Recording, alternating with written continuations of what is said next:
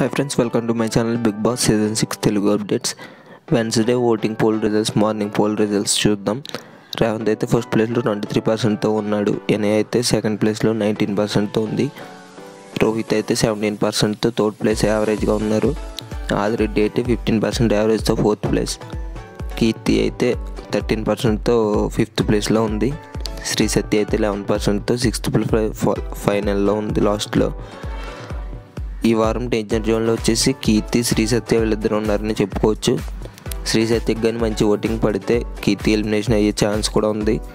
ఈ వారం ఎక్కువ శ్రీ సత్య ఎలిమినేషన్ అవ్వే ఛాన్స్ ఎక్కువ ఉంది. శ్రీహాన్ ఫ్యాన్స్ మాత్రం శ్రీ సత్యకి వేస్తారు కాబట్టి ఈ వారం ఒక సస్పెన్స్ కానీ ఉండవచ్చు. ఎవరు ఎలిమినేట్ అవుతారని మీ ఓటు ఎవరు వేస్తారో కింద కామెంట్ చేయండి.